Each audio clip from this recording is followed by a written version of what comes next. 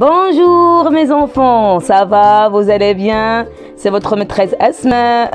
Aujourd'hui, on va travailler la couleur bleue. Bleu comme un pull,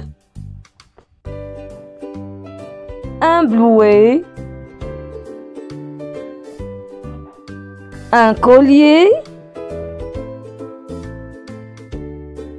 un crayon de couleur, un poisson, un oiseau, une baleine, une goutte d'eau. Et une voiture.